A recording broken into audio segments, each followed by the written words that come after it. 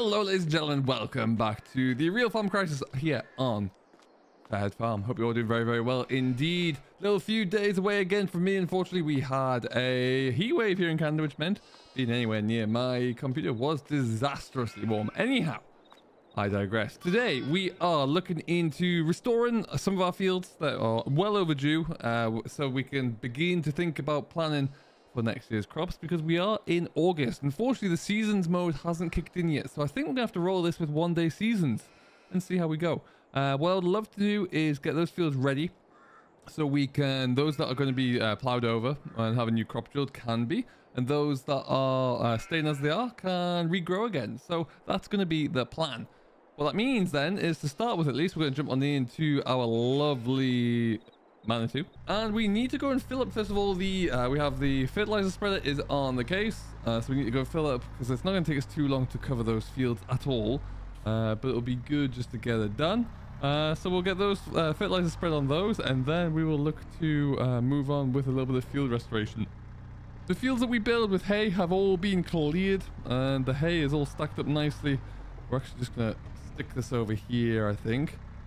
Uh, bring this on into here and just drop this fork over here. There's all our bales of hay so far, at least. I think I'm going to get at least two more fields done. But there's a lot there. That'll keep us going for a little while there, even though we do have a larger number of sheep, uh, which is good. Speaking of which, they'll probably need feeding again soon. But yeah, happy with that. If we get like another 30, 40 bales, good start. Good starting point.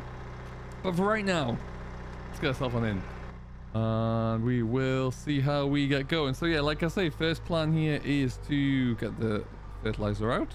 Uh, we have some fertilizer left over here in the sheds from when we took over this place which is good because that would be expensive otherwise and we don't really have money to burn. You'll see our money went down again with the repayment of the loan uh, which is as expected there but that's fine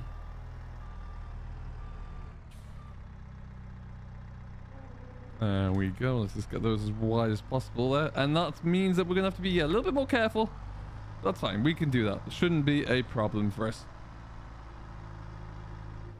And uh, yeah, let's just take these two on the end. There's nothing else down at the moment for us to uh, to cut or to worry about there. So we can just get these bags shoved onto the new ground. Uh, there we go. Maybe less.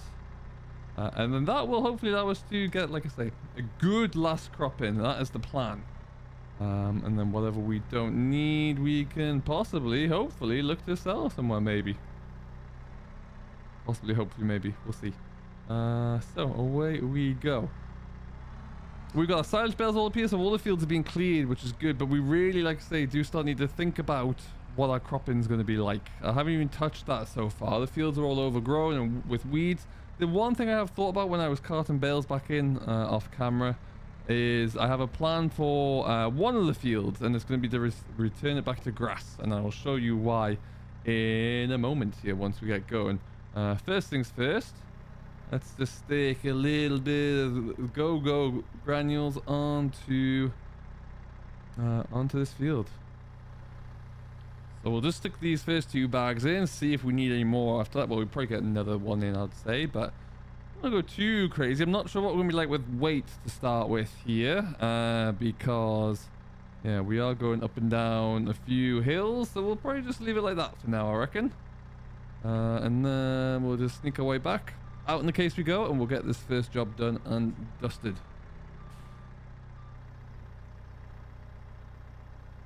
Perfect. Yeah, now we can really start to get a little bit more work and get the yield increased on these fields as well because, well, they're not great at the moment. They could really be improved a little bit there. So hopefully this will do just the job. Uh, and we're going to go backwards here.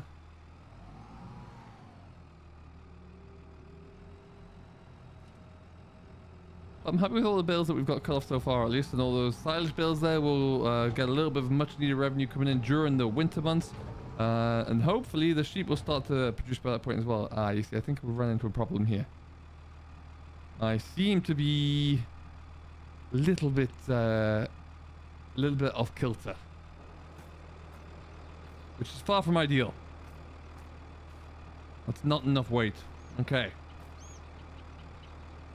Don't know if the John Deere would be any better at this stage.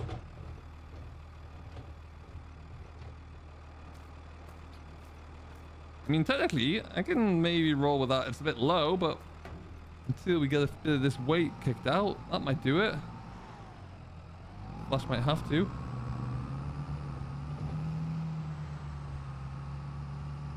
Yeah, feels like this field in front of us here. We need to get that one ready to go with a crop. That will be drilled uh, with a winter crop. Uh, we'll have a few more grass fields to cut down. And I think I've got, if I look at the, the map here, uh, field 49, 8, and 29 will remain as they are. Field 51 is going to go into grass, um, and which means I might put another field into uh, cereal crops somewhere as well, because I have a, quite a lot of grass fields. But what I'm thinking is because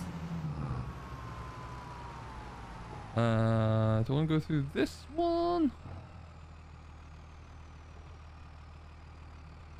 No, that one we that one's probably doing okay. In fact, yeah, let's put a little bit on here because last time we are in here, we just mowed off all of the uh, thistles and the weeds that were in here. So that's a good bit. Bit late in the day, but that's fine. Um, so yeah, we'll see how we get going. Seemingly have not uh, done the yield mapping on this field as well, which is a little bit less ideal. Yeah, that field there needs to be tamed. We want to get the plow into there, we want to get it turned over, and we want to get it drilled. So we need to get a bit of a hurry on with that. And we'll actually go straight down through this field as well uh, to put onto the hay ground. There's a deer here, get away. Oh, no, still Still not enough. Forgot about that bump there. There's an almighty, really almighty ridge in the field. Alright, anyway, we'll just stick one down the middle here as well because I really want to save what we've got here for the bigger fields that need it more. Um, so yeah, the field straight in front of us, we are going to plow that one over and put it into grass because ultimately these fields that we're in now and the fields that we've baled are going to be baled again coming up in the next year. So I don't want us to put any kind of uh, cereal crop into here and then have it come through somehow and like destroy or damage a bit of it because we need to come through and cart bales. Uh, you can see where the weeds have been flattened out here already. Don't want that to happen on a large scale. That wouldn't really make too much sense to me. So we'll want to try and avoid that. Uh, but yeah, we've got the one uh, and then the two smaller fields on this side as well. Good, good hay fields, good sizes.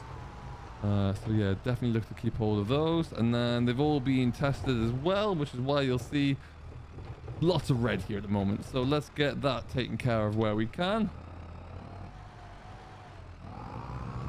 And uh, get a bit of the good stuff spread on here. Probably wouldn't put it on so liberally if it wasn't already here with us in our um, stock. That's why we can kind of go for a bit more here. But it's good just to get onto the ground anyway. And then, yeah, hopefully uh, come September, we'll be able to uh, get another late cut of hay off here, weather permitting, and we'll see. I don't know. I'm, I'm in two minds at the moment if, if I should try and change the seasons to bring it back to the initial three days as planned, or if I'll just keep it on a slower time and do as much as I can. That would, in theory, get me the same result. It's not quite as practical, of course, but it would work. I mean, it's not making a drastic change, but it's improving it a little bit. It's into orange rather than uh, bright, bright red, I suppose. Uh, it's probably going to take a second application to get any chance, but I don't know if we can afford to do that. So we'll see how we get on. Maybe it's a project for over the winter uh, to get some lime onto here or to get some uh, compost on or something. Because yeah, as it is right now, it's probably not going to tick all the boxes. And then, yeah, all of the fields around us here uh, that are arable, we will be, those that are going back in, we'll probably go into a barley just to start our cycle off with. Uh, that way we can uh, get some good straw off it as well and sell that straw around. Uh, and we'll see where we're looking at from there. That's the current plan. Plans are always subject to a little bit of change, but I think that's what we'll do. Nothing with too crazy costs originally, but just get some uh, some cash flow going through the through the farm. Because ultimately, at the moment, that's all the important uh, situation. Now, back here this spreader has a ridiculous spread rate on it. Let me know what else you think you would do as well, just to try and bring in a little bit of diversity into the farm here. What, what um, approach would you take? I'm all ears. Would love to hear uh, and see what we can do. Maybe we can get some of them implemented as well. Bear in mind, we are only, what, three months in, I think, at this point? Three, maybe four. That make more, might make more sense. But really not much. All right, and then we should be pretty much all done with this pass. Look at that. Wild efficient spreading. And then we'll just go into one of the small paddocks on the other side of the uh, the bridge there and the wall. That should be just good to go. Alright, so that's first field done and dusted. I got about 7% left in the hopper, so we'll just go for a quick blast uh, through here. Uh, and then we'll take it way back. I think what we'll do as well is bring the John Deere over at the same time so we can just get it going with the hide work on there. Uh, and we'll see what that looks like. See if it does a good enough job at all. Oh, there you go. But yeah, I do like the terrain on this map as well. I think this is really nice just to be on and, and keep smashing along with. Something a little bit different. I'll have to bale hay there. You, sir, will be picked up shortly. That's a mistake. Oh, so what we'll do... I have a plan. Alright, and so we have got everything set up with the fertilizers All right, so plan is in place. John Deere is now working. We're going to go and check in on it uh, as we get over there. But we're going to bring the, the fertilizer to the spinner so we can bring that back that rogue bale as well. Uh, so all of our machines will be in one field. Uh, looks like the John Deere is uh, going now, which would be nice. Get that field back down to like a mulch state. Uh, and then, oh lordy, I'm thinking I don't have any of this equipment. So I'm rather than have to lease everything, I'm just going to try and get us a nice a direct drill uh, that we can use just to get everything in when we're all ready to. Something that's going to have to be relatively small, of course, that one of my two tractors can power. That makes a lot more sense than time-consuming cultivation work at this stage in the project. And then we'll see where we go from there. Uh, so that should be pretty easy. Just want to get these weeds tamed first. The big thing. Ah, perfect. You can see he's, he's ticking along there nicely. Making it look a lot better actually being mulched down there. Look at that. Wonderful stuff. And then he'll be away. Happy days. Uh, we will just get... We're not even going to take... We'll put one bag in for now. See how we get on. And then we can... Go from there. Once we're finished, maybe we'll just top it up a little bit. Alright. Excellent stuff. This field has got minuscule amount left to it, so we'll just get that all knocked out nice and quickly.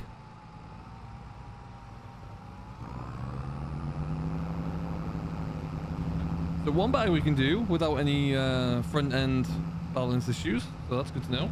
All right, and then this will be the last one. So it's really nice and straightforward today. We're just getting the fields going again. We need to start to make them work for us a little bit more. Uh, and this is the perfect way in which to do it for our own situation. Let me know what you think we should do for our approach to drilling. Should we go ahead and plow the fields and of course reset them there with a plow and make them uh, get a little bit more of a bonus there from a yield perspective uh, to, to really kick this thing off.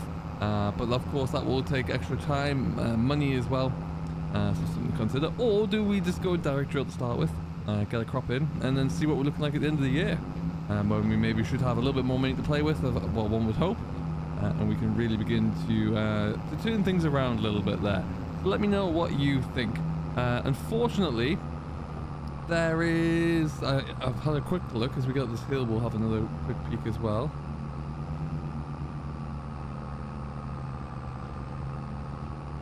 There you go, bit of a grind up the hill there. Uh, there is next to nothing that would be of interest for us uh, in the sales, so it's quite disappointing. I don't really need a um, 12 meter grass harrow, so we'll have to just do without anything from that. But we will keep an eye on it. Not that we can really afford too much at the moment anyway, uh, but we can always keep an eye on things there. Um, hopefully, the one thing I do need to look into, which I've realized, is a water bowser for the sheep, because they do not have any means of getting water for those pastures that need it. So, something that we need to consider. So, I will think about trying to acquire one of those and find something of a, with a relatively good price point, and then we will see what we can do, make it attainable.